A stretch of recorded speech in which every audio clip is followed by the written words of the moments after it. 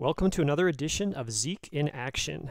I'm your host, Richard Baitlick, and in this series of videos, we address topics that are of interest to those who use the Zeek application and programming language to address a variety of defensive network security challenges. And in this video, we're going to be talking about the intricacies of wireless monitoring. Now the reason I'm recording this video is that I've noticed people asking a few times in Slack or in other uh, other areas, can I use Zeek for wireless monitoring? And that sort of begs the, the bigger question of how do I monitor wireless traffic for any type of network security monitoring purpose? And if you do any kind of sort of on the surface research for this, you'll get some sort of answer that uh, that involves oh just run monitor mode on Linux and sometimes Windows because you'll see everything. And in my uh, in my experience, this has not been the case. And I wanted to find out if that experience held up in 2021. Uh, in other words, is there a feasible solution for defensive monitoring purposes? And I want to sort of provide a, a, couple of assumptions that I brought to the table here. Um, the first one is that if we're going to be doing any type of what we're calling wireless monitoring, uh, we have to ask what is the traffic pattern we're looking at. And I think when most people think of wireless monitoring, they're not thinking of north south traffic from a wireless client to the internet. They're thinking more along the lines of, of lateral movement, so wireless to wireless. Now, if you could watch wireless traffic itself and get that north south behavior, that would be a bonus as well. But I think most people, when they're they're thinking about monitoring a wireless network, they want to be able to see wireless systems talking to other wireless systems. So that's sort of one uh, one assumption that I bring to this. And the second assumption that I bring to it is that you want to be able to see at least a good portion of the traffic you don't want to have massive gaps in the amount of traffic that you're looking at because under those circumstances you can't be sure that what you're seeing is representative at all of what's happening on the network. We don't necessarily have to have perfection because there's plenty of network security monitoring uh, instantiations where you're only seeing some of the activity and some is better than none. But I think we could agree that if we're doing some type of defensive monitoring, we want to be able to get uh, access to the most traffic possible. And then using other methods, whether it's looking at transaction logs or using some type of filter or whatever other workflow or technical approach, you narrow down the amount of traffic you look at you don't want a feature of the underlying capture system to be, well, we're just going to lose most of the traffic. Uh, I just don't find that to be acceptable. So with those two assumptions or, or, or sort of understandings, let's proceed. Now, the way I decided to uh, approach this problem was to try to make it as easy as possible for anyone watching this video to duplicate my results. Because if I were to come up with some elaborate or obscure method to approach this problem and nobody else can replicate it, then what's the point? So I wanted to make it as easy as possible for someone to download software, plug in hardware, run commands, and see if they get the same results, better results, worse results, or even to be able to provide an alternative method to do this. Because if someone's watching this video and they have the answer, uh, it fulfills the requirements that we've set, that's great. I would love to hear about it. And I think a lot of our viewers would too, and other people in the network security monitoring community. So with that said, I approached this problem, uh, basically the first approach I took was to use Kali Linux because I knew that uh, Kali Linux had support, uh, native support for so many of the wireless assessment tools that people usually associate with some type of uh, wireless security. Uh, now, I was able to have some success on Kali Linux, but it didn't meet my standard for just being as simple as possible. And that's when I decided to turn to Parrot Security or Parrot OS uh, because it had plug and play essentially support for the hardware that I decided to use for this project. So I uh, used a Parrot uh, VirtualBox image downloaded from the URL here at parrotsec.org and that is the operating system that I'm using for my uh, wireless capture. I ended up installing uh, a version of Parrot uh, 4.11.2 uh, running inside a VirtualBox 6122 as shown here uh, with Windows 10 underneath.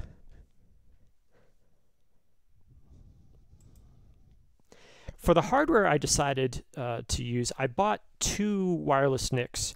And this NIC, uh, not only was it basically the number one contender per the Aircrack NG um, FAQ, but it was also the easiest to use. Uh, this is an Alpha AWUS 036ACH. And uh, there's also a fairly uh, nice set of videos available online from a variety of, of uh, authors who talk about how to use this NIC um, with various tools under Kali Linux um, and for other sort of offensive minded security purposes.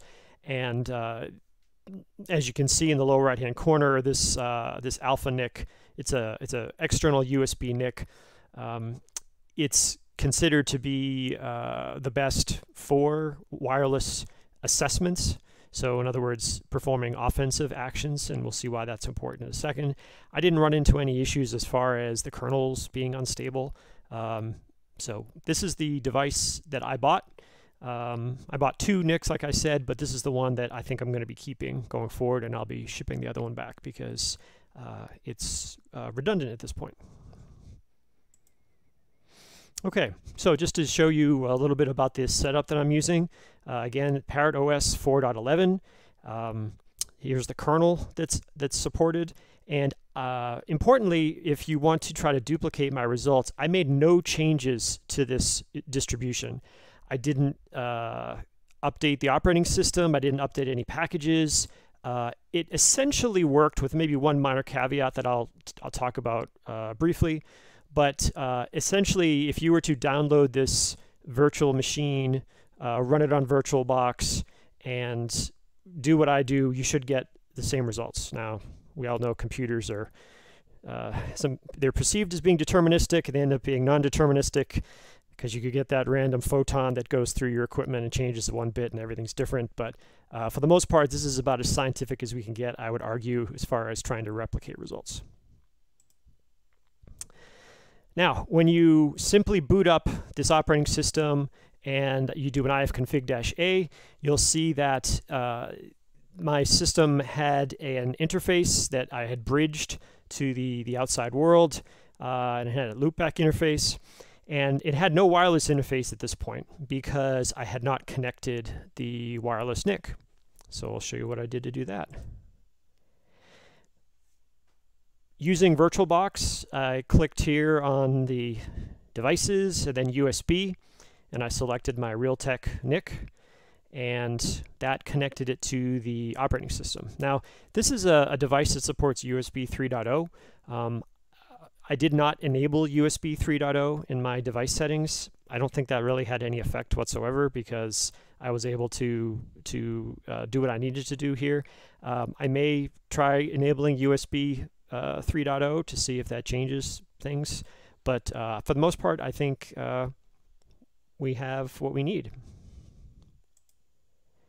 Now, when you, after you connect the NIC, the uh, operating system notices that it's there. And using a dmesg command, you can see that uh, the kernel has recognized that there's a new USB device plugged in. It's an 802.11n, uh, 802.11n NIC. Uh, you can see the uh, device drivers that are there, and th that's what's nice about Parrot OS. These things are already compiled, uh, they're already installed, they're ready to go. I didn't have to do any of the external additions that I I was doing under Kali Linux when I was trying that version. So uh, again, just to make it easier for someone to try to duplicate what I have, there we go. Um, and once I did that, once I plugged in the NIC, uh, you'll see that I have a new wireless device. And this is kind of one thing that I'm not a big fan of the uh, the NIC gets renamed from uh, WLAN zero to this really complicated uh, WLX etc. nickname, and I suppose that's good for scripts if you're doing something where you need a specific NIC all the time. Um, but as far as having to type commands in a concise manner, that is kind of a pain. But um, as you can see, that the uh, there is now a wireless NIC recognized by the operating system, and it worked out of the box with Parrot OS. Okay, now I decided for the purposes of this discussion to attack a wireless network that was completely under my control and for which I, I obviously since I knew I knew it uh, I, or I was running it, I knew the uh, passphrase for it, the key. Um, so, in an, also to speed up the process of performing a dictionary attack against the wireless network, I created a so-called dictionary file with the um, with the key of good life, which is the default um, key for this little tiny, uh, it's like sub-consumer grade uh, wireless uh, access point that I have. I probably should have thrown uh, a picture in there of this thing. Uh, you can see down here it's listed as this GLAR150-2BE. Um, if you Google that, you'll see exactly what kind of a little device this thing is. Um, so what we're doing here is we're testing to see if the wireless support offered by my setup is sufficient enough to crack the uh, key associated with this network. And uh, both Kali and ParrotOS ship with a script called Wi-Fi. And Wi-Fi is a pretty nice little uh, application that bundles a lot of other uh, tools into essentially a single command. And you'll see videos on, on, on YouTube of how to hack somebody's network with one command. And this is essentially it. Right? You, you basically tell Wi-Fi an interface to look at, and if you want to pass it a a different dictionary file other than the one that's packaged with it, you, you do that. And it starts looking for wireless networks and then tries to uh, find out the key for them. So in this example, um, there are many networks that, that were identified uh, in the surrounding area, um, but I am simply going to pay attention to the network that I set up specifically for this, this test, and this is this uh, Good Life network here. Um, incidentally, the setup for the wireless network looks like this. I didn't just attack the access point because I noticed that in some other videos as well. Someone would set up literally just an access point and then uh, they would attack that ac- they would attack the Wi-Fi network, but there were no systems actually on it. Um, sometimes they would ha- maybe they would have their phone attached to it, but I decided to set up a couple laptops um, and have them doing something while attached to this target wireless network. So what I have here is on the left, um, I've got two, what are they, Windows 7 boxes it looks like. Um, the left one is pinging the right one. Um, and I've, I've got to zoom in on the screenshot here and you'll see that there's some request times out and general failures and, and other error messages. Those are caused by the Wi-Fi script uh, de-authenticating each of the systems from the wireless network. And it's doing that because it's trying to knock them off the network. And then as they reconnect to the network, um, the attack software powered by Aircrack NG or AeroDump NG in the background is trying to capture the handshake. So it'll have something to brute force get the key and then provide that to the, the wireless assessor. And we'll see why that's all important uh, a little bit later. So we've got traffic here being uh, generated between these two systems. That also becomes a little bit important, more important later when we're trying to see, well, uh, can we actually capture this network traffic for purposes of, of monitoring? Now, this is the rest of the output from that Wi-Fi attack. And you can see that these two laptops were discovered. Here are their MAC addresses and uh, WiFight reports seeing that it's captured the handshake, and it saves a copy of the traffic associated with that handshake to this uh, .cap file, which I love. Anytime you've got a tool generating a PCAP, it's uh, great for, for any of our network security monitoring. Um, you'll see that it cracks the WPA handshake. The, the appreciated key is good life, as we, as we said, um, and it produces this crack.json file where um, it will show us not only the network, but uh, the key that we, we have. And here's an example of it here. So if you were obviously um, a, a, red teamer or some type of offensive security person and you were assessing a ton of networks and you were running the script and just letting it assess against all the different networks it could find. It would be generating, assuming it's cracking the, the PSKs associated with these networks, it would be generating these outputs, and then you as the assessor could go back through and see which networks had weak uh, pre-shared keys, and that you would tell your, your customer, hey, um, it's trivial to get access to your wireless network. Uh, you need to come up with a better uh, pre-shared key or, or other, other security parameters for, for your Wi-Fi network. Now, with this information, you as the the assessor, um, you know how to access this wireless network. So you could decide to associate with that wireless network. You know the SSID.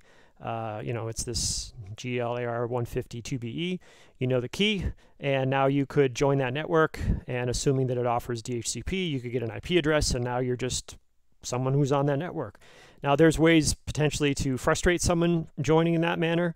Uh, there could be some type of network access control. You might find yourself on a segment that doesn't have access to a whole lot of other systems, whatever the case may be. But uh, clearly, getting you know actual authenticated access to somebody's Wi-Fi in an unauthorized manner is uh, really difficult.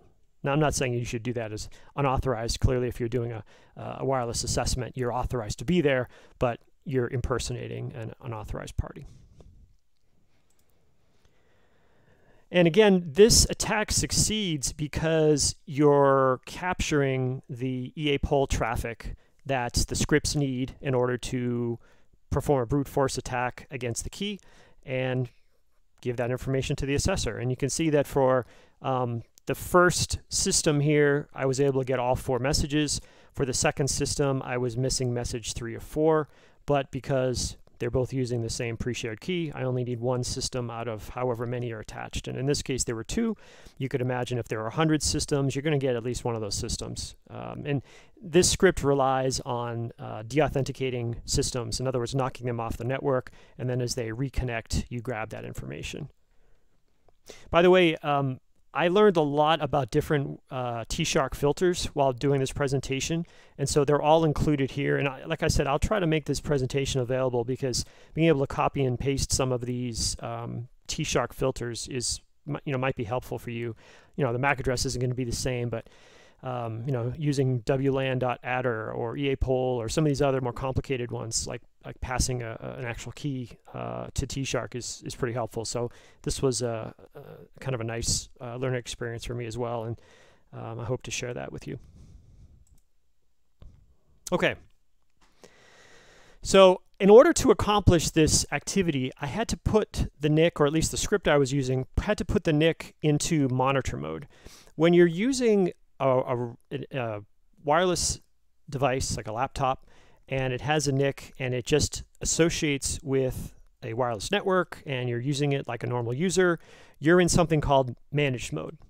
But in order to see all of the traffic that's in your local area, in order to you know, find a, an access point to associate with, in order to see that type of uh, wireless control traffic, and then uh, the underlying traffic, um, the NIC needs to be put into something called monitor mode. And this is really where all of the limitations around various wireless NICs derive. If you look online, uh, the best location I found for information on which NICs to use are, are in YouTube videos. Um, there aren't as many people writing blog posts these days about what tends to work uh, for various network security assessment projects but there are a lot of people doing videos and the videos you know they're doing them for the likes and for the ad revenue and as a result they'll post um, you know various people will post their results every few months and say hey here are the wireless NICs that are working best for my red teaming activity.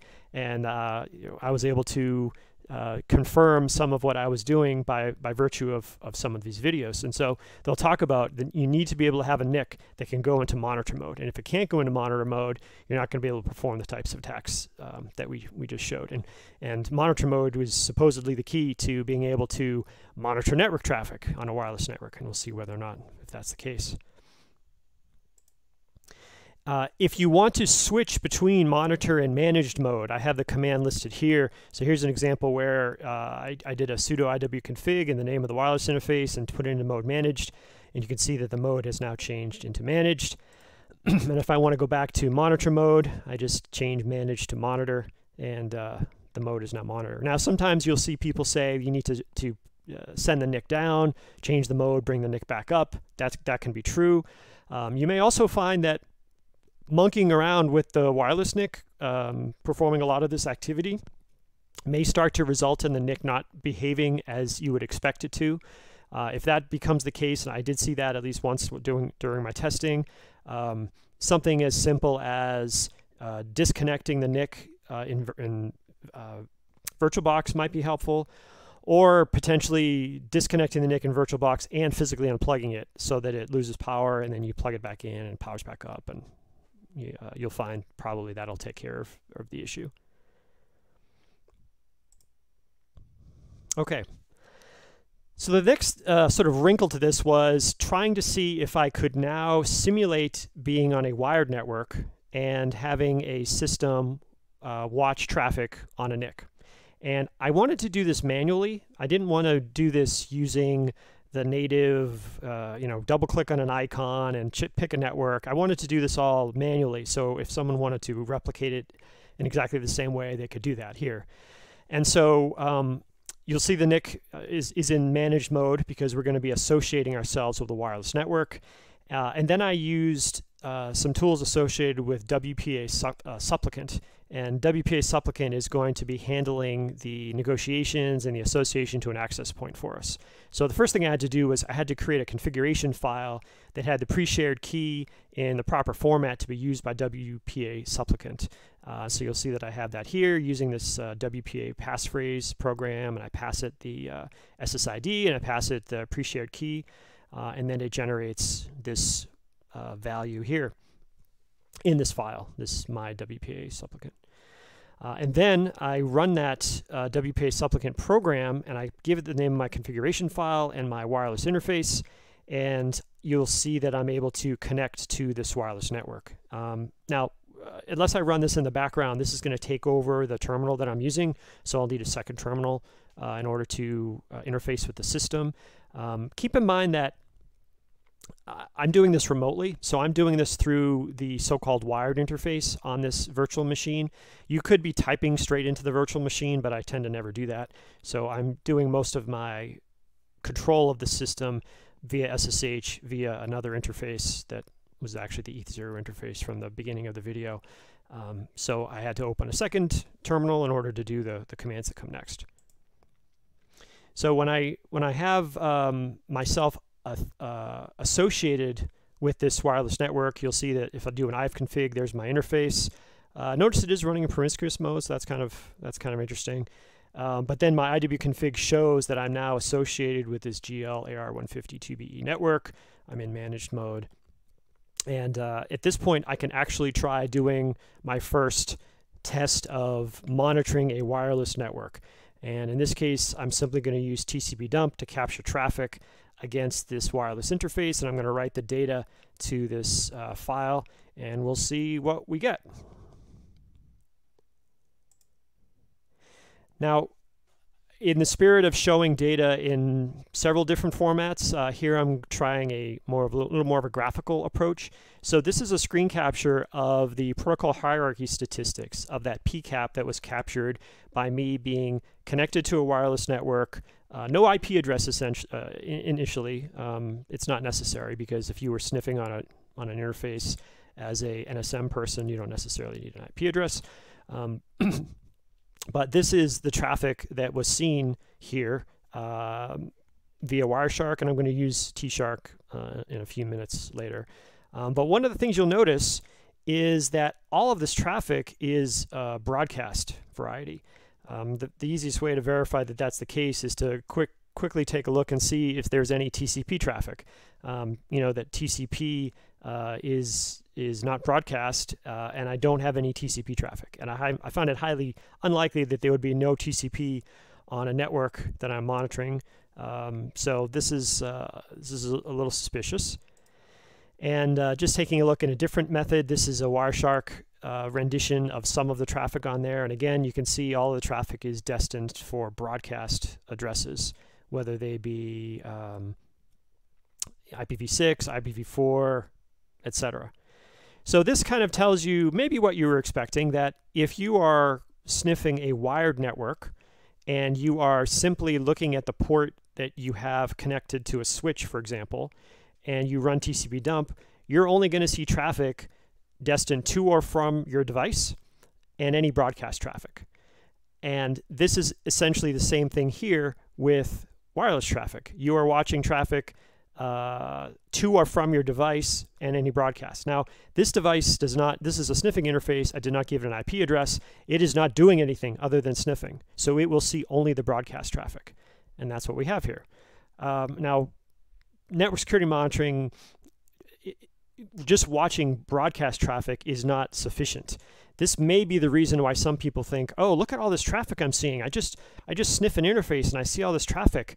Well, quick tip or a quick tri- um, trick if you ever want to find out if you're seeing traffic beyond uh, just what's destined to your system. Um, first of all, make sure you're not sniffing uh, on an interface that has an IP address.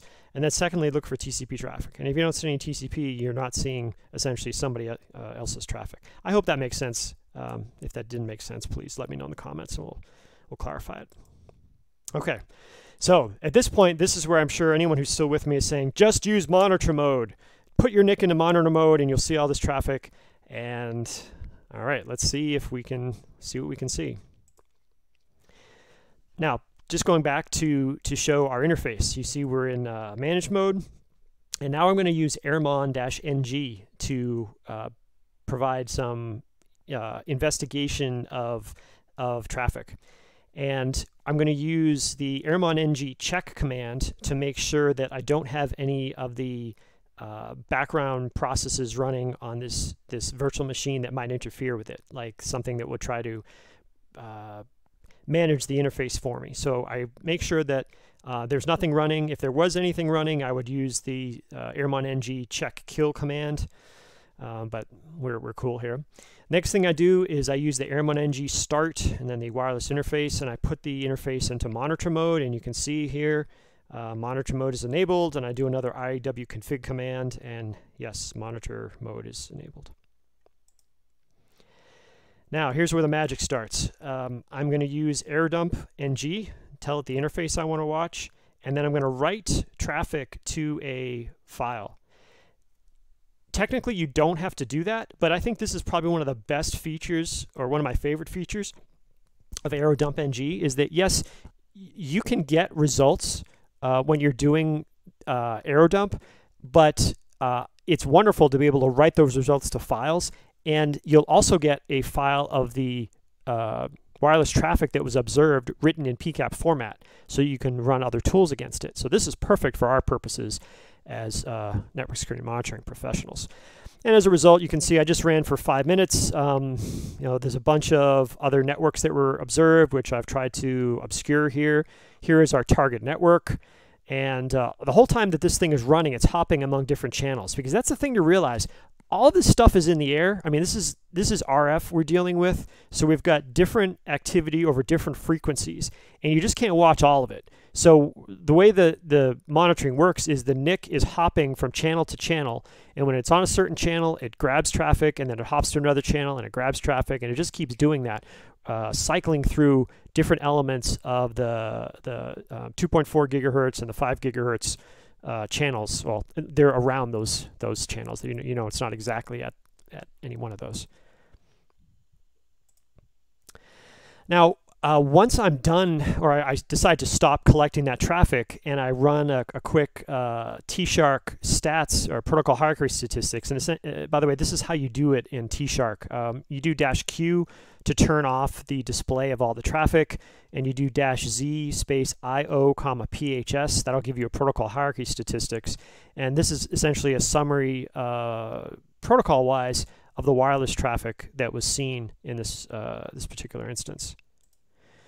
Now, um, here I've done something that took me a little bit of time to figure out how to do, but it's really pretty pretty helpful.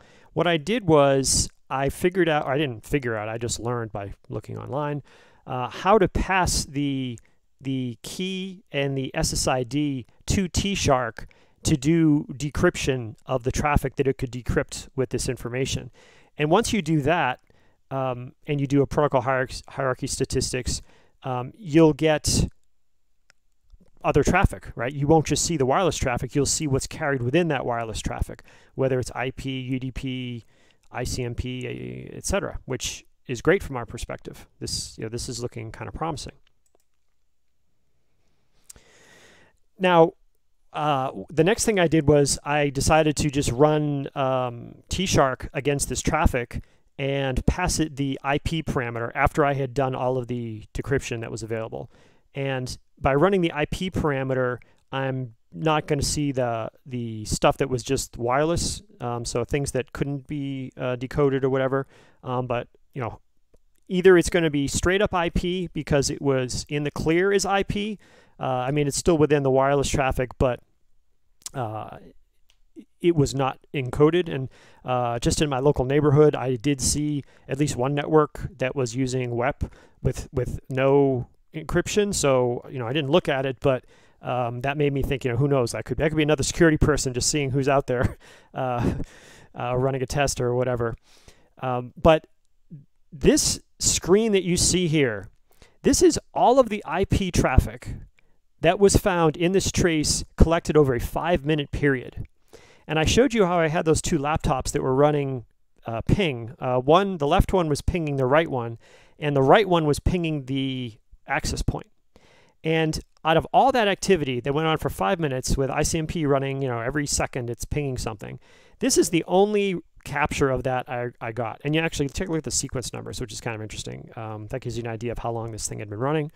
Um, beyond that, this is other traffic that I got. So clearly, we're not we're not you know just putting monitor mode on and sniffing traffic and then passing a decryption key. That doesn't give you a whole lot. In fact, it gives you enough to look like you're seeing something and to possibly lull you into a false sense of security that you're actually doing wireless monitoring. And you're not at all. You are basically just looking at a subset of activity. Okay, now some of you might say, well, you need to pay attention to the channel of interest or the network of interest. And if you're hopping all over the place, of course you're not going to get the traffic you want. Well, that's a good point. So let's see what happens when we, we uh, pay a little bit closer attention. So Airodump NG has this nice feature where you can pass it the channel that you want to watch, and you can pass it a uh, the MAC address of the network that you're interested in, uh, and then I pass it my wireless interface, and I tell it where I want to write the traffic to. And as you can see here in the output for it, uh, it's looking at channel 6 and it's only noticing the access point and two stations. These are the two uh, laptops, incidentally, that are connected to it. So this is this is you know, pretty good. Um, I I posted in Twitter um, earlier this month when I was doing the work on this whether or not this was a display filter or a capture filter. Uh, I didn't get any helpful responses to that, so the, the question is still open on this, whether it is simply a capture filter or display filter. Based on this work, I'm leaning a little bit more toward, toward it being a capture filter and not a display filter, but um, the jury is still a little bit out on that. Now, once I, I captured here for 15 minutes, and uh, I did my protocol hierarchy, hierarchy statistics, you'll see I got many more frames than I did the last time, which is which is good news. Um, and when I passed the encryption keys to this and did my protocol hierarchy statistics, I got a lot more stuff. And significantly, I got TCP traffic. So this is great. This this is really promising here because um, if I'm seeing TCP traffic, I'm not just seeing broadcast. So this is a really great sign. So you can see I've got some HTTP here. Uh, I've got TLS. Um, so this is this is looking really good. Like, whoa, could there be something to this? You you run monitor mode, you look at a specific network of interest, and then potentially you could watch the watch what's happening and be able to um, uh, use it for security purposes. So let's see if, if this is the case. Um, so one of the problems I had was that the file that you get uh, doesn't you know, isn't written in a, a manner that can just be processed by regular tools. It's still got all of the radio headers around it. Uh, in other words, I just can't pass this trace that it was that was captured by Airodump NG. I just can't give it to a tool like um, uh, well, even TCP dump, but I can't give it to, to uh, Zeek because it's just going to be a bunch of radio headers around the information of interest. And by the way, it's going to be encrypted. But thankfully, um, the AirCrack project ships a program called AirDecap-NG, which will essentially, if you give it the the um, the key information here, uh, it will strip the the encryption and it will produce a clean PCAP for you to work with. So that's what I did. Um, the original PCAP was this one here. Um, once I ran airdecap-ng against it, I got uh, this new file. And if you want to learn more about that, you can check it out on the uh, AirCrack-ng documentation. So we're at the point where we have a PCAP that we could process through a tool like Zeek, and we'll see what's inside. So um, the original PCAP had uh, 5,780 IP frames. This new PCAP has 5,642, or actually, um, the new one has uh, 5,441 IP frames. So there are fewer IP frames in this.